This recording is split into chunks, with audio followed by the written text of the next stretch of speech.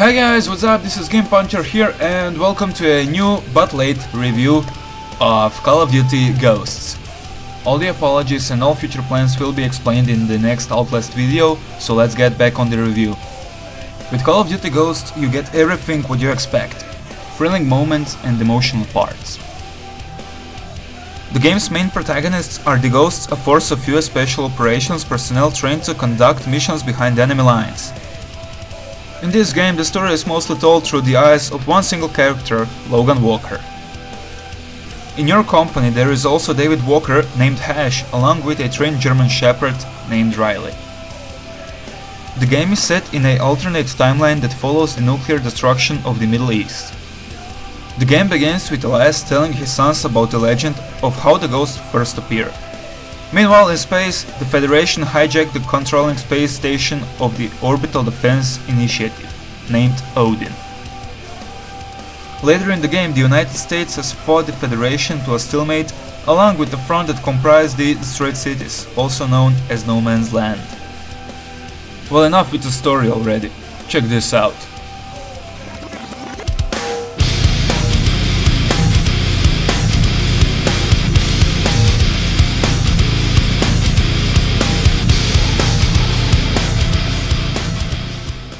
A fluid, explosive, devastating tank mission. The best part about this tank mission is that the driving and shooting is fully arcade. There is no 105 buttons to press or something like that. You just have forward, backwards, aim left, aim right, aim up, aim down and fire. Basically, you get airlifted to your destination. There's a little free fall you have to do, then smack in the ground and see the plane planes roaring above you. The most impressive character of the game is Riley, a German Shepherd attack dog. Riley's movement is much more than realistic. With extra motion capture technology they managed to create what is a perfect dog in a game. You can control Riley with your computer for those little sneaky and stealthy missions. The graphics in Call of Duty Ghosts are not excellent, but actually they are not bad. Well, the game was released on PC, PlayStation 3, uh, Wii U, Xbox 360, PlayStation 4 and Xbox One. This game won't choke your PC, but my recommendation is you buy a little bit stronger. Recently, the game developers released a patch which brought the minimum system requirements from 64 gigabytes of RAM.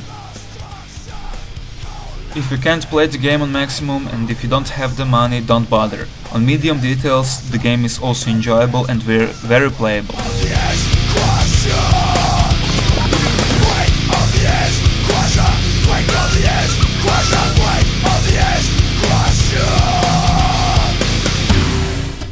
Let's get to the space part. Odin is an orbital superweapon that utilizes kinetic bombardment. It uses it to destroy several cities in southwestern United States. The surviving American astronauts sacrificed themselves to self-destruct the space station and prevent the Odin satellites from launching their payloads further inland.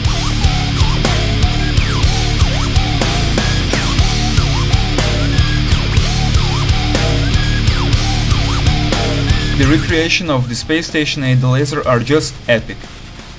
Imagine floating around in space where no air, no sound, where actually is nothing, and then get killed. Well, actually, it's a very fun part.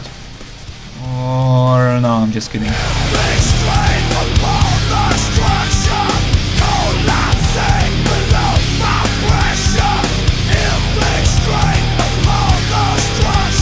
Call of Duty Ghosts will do exactly what you think it will, and that's as true as if you're a fan or a hater.